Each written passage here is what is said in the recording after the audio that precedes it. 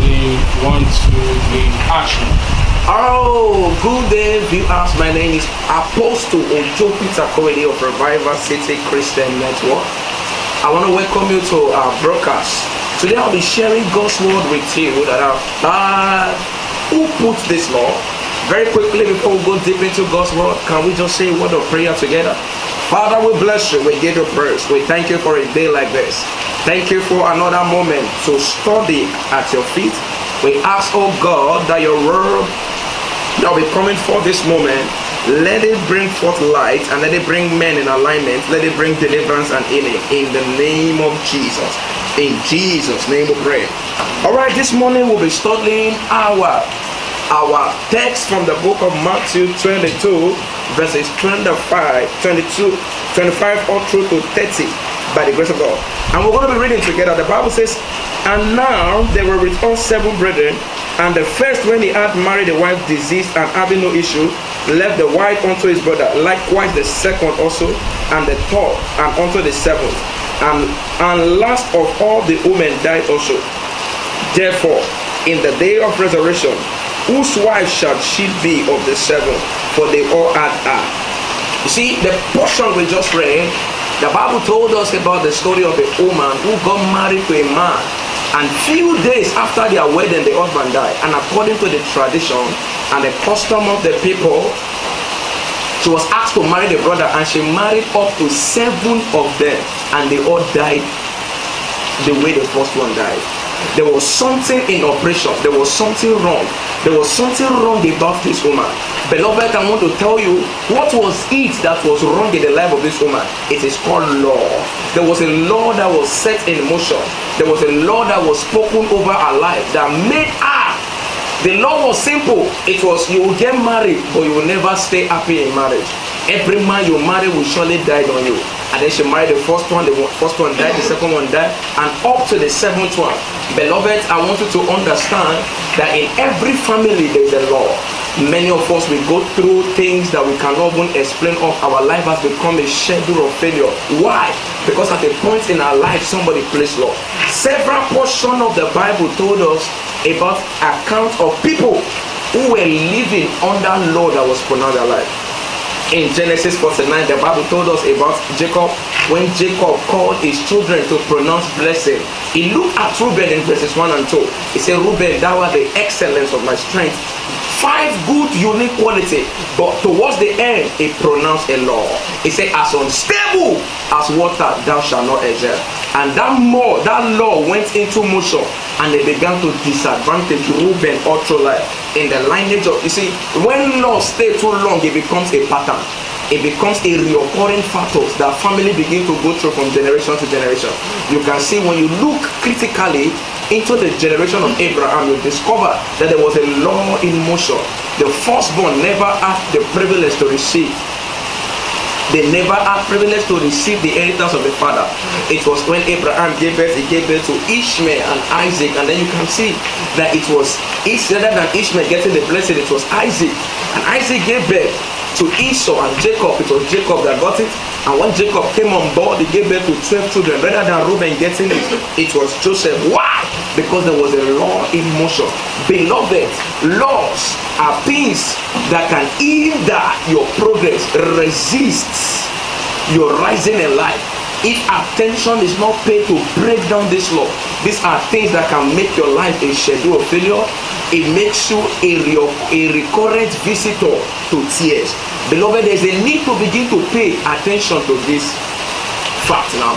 I, I heard of a story, briefly, I heard of a story of a young lady, very brilliant, intelligent, super intelligent, working in a big company, receiving a good pay. But somebody looked at her and the person said, As from today, I curse your two hands. You begin to steal. And everywhere she goes from that moment, she has a good salary. She lives well, she lives large. But then there was a law in motion that was disadvantaging her. Me, child of God, the very first moment she was taken oath to be introduced to the father-in-law, the person was about getting married to her, and when they took her oath, the first thing she did was that she stole the mother-in-law to do. She stole her jewelries. And after some time, she apologized that it wasn't intentional. They took her back the second time. She stole just 2,500 naira. And that was the end of her. She continued like that. No man could end up with her. Why? Because there was a law in motion. Beloved, there are three categories there are three triggers that can bring this law. The first one, we have the man-made law.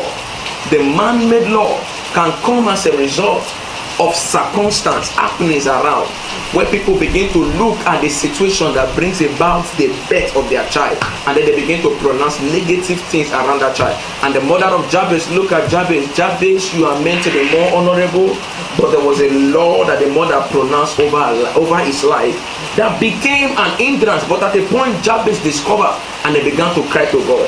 And instantly god by his infinite mercy came and he turned that story around. You must understand beloved this day that there's a need for you to know that there is the man-made law they are confession made law. When you begin to when you are always confessing negativity over your life over time these things suspends in the atmosphere and then they become things that accompany you all through life. You must be positive. You must just be positive. There are laws and laws everywhere that is working against people. You see brilliant students super intelligent students after school with good grade no job. Why? Because there is a law in their family that nobody will rise no matter how well they do academically but they will never use the certificate to result to anything in life. They are laws. They are beautiful sisters good looking sister fresh handsome. When you look at handsome brother handsome sister struggling in life nothing to show off no husband. When people look at them what they see is death sentence. Why? Because there is a law in motion. Beloved they are man-made law like i said. They are confession made law and then there are laws that people enforce over people. You must understand today. Then what is the way out? The very first way out how to deal with this law is by prophetic intervention. And that's why god has sent me your way. I'm going to be praying this day for you. Maybe you've been working and nothing has been working. Maybe you've been doing things and they've not been results. I want to assure you today after this short prayer. Remember the Bible told us that it was Moses in the book of Deuteronomy 33, verse 3, who came and he said, Let Reuben live. Immediately after that prophetic intervention, remember one time in Joshua 6, verse 26, Joshua pronounced a law. He pronounced a law. He said, Whosoever builded the wall of Jericho shall pay with his son and then his last son. And that law was in the atmosphere for good a thousand years until a man came in First Kings 16 and 24. He built that house and the man paid with his first and second son. It was Elisha who came to put an end to that cause. God has sent me your way today. The presence of a prophet should signify the absence of a problem. I came to speak to your life today as the oracle of God. I wouldn't know any area of your life where there is a law that has been working against you, that have not making things to work for you, that has made your life stagnant, that has been making you to live in depression and stagnation. Whatever law that have shut your womb, that have closed your womb from receiving, I decree that law now is breaking over your life. In the name of Jesus, is breaking over your life. In the name of Jesus, for the scripture says, He was made a cause for our sake. Today I've come with the word of the Lord and I speak over your life. After today, every curse is breaking now. It's breaking now. Marital curse is breaking now. Career curses is breaking now. Academic curses is breaking now. In the name of Jesus. What nobody has ever done in your family, you are going to be the first. Your testimony will shock the world. I speak over your life. As from today, doors will open for you. Doors that have not been that you've been knocking and has not been opening. As from now, I see them opening for you in the name of Jesus. Immediately after this broadcast, I see good news coming your way. I speak to you, woman. That cause of sickness that have afflicted people in your family is breaking now. In the name of Jesus, you are healed from that sickness. That attack is leaving you now. I said that attack is leaving you now. In the name of Jesus, that attack is leaving you now. Financial hardship, cause of financial hardship is breaking now. It's breaking now. In the name of Jesus. If you have been blessed by this daily broadcast, I want to encourage you you can share your testimony with us if this broadcast truly bless you you can reach us on this phone number 08036966406 08036966406 Uh, once again, thank you for listening to me. God bless you. I'm Apostle Peter Korede. See you. Shalom.